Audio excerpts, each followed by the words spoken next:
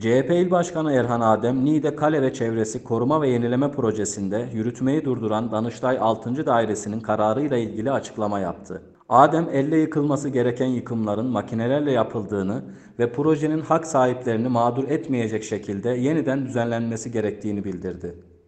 2019 Aralık ayında kale projesinin yapılması için encümen ve belediye başkanlığı yetki verilmesi istendi. Bizim belediye meclis üyelerimiz evet dedi. İlerleyen süreçte Cumhurbaşkanlığı kararnamesi ile acele kamulaştırma kararına et- yetki istendi.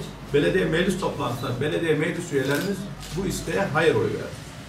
Yapılan uygulamanın hukuksuz olduğu ve vatandaşların şikayetleri belediye meclis üyelerimizce defala, toplantılar defalarca dile getirildi. Hak maliklerinin açtığı davaları takip ettik. Yıkım ihalesine karşı olduk. Yıkımın yapılma şekline itiraz ettik.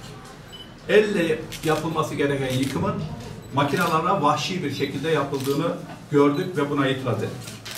Bu süreç devam ederken Danıştay 6. daire yürütme 6. dairesi yürütmeyi durdurma kararı aldı. Bu kararla yapılan uygulamalar kanun dışı hale geldi. Bize göre şimdi yapılması gereken projenin en baştan yeniden yapılarak hak sahiplerinin mağdur etmeyecek şekilde kamulaştırma yapılıp projenin ilerletilmesi gerekiyor. Şimdi soruyoruz. Siz neden projeleri olgunlaştırmadan, takip etmeniz gereken bürokratik prosedürleri uygulamadan projeye hayat vermeye çalıştınız?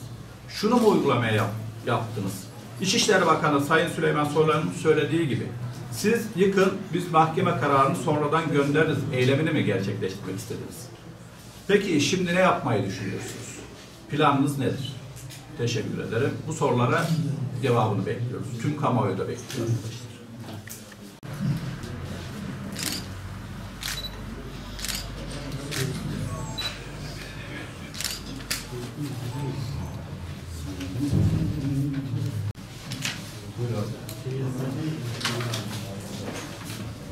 Bakın böyle kaydedeceğim.